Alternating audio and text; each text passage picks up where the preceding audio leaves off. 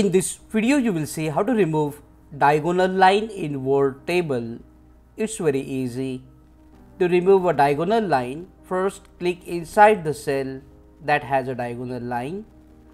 Then click on table design tab. You will see here the option of borders. Click on the drop down and you will see this tick mark depending on the type of border you have diagonal up or diagonal down border. So right now I have diagonal down border which is ticked here. To remove the border the diagonal line just click on this option and the diagonal line will be removed. Similarly you can also click inside the other cells and just untick. Click on that like button comment below and let me know if this video solved your problem and don't forget to check out these useful videos if you want to learn more about word table. See you again in the next one.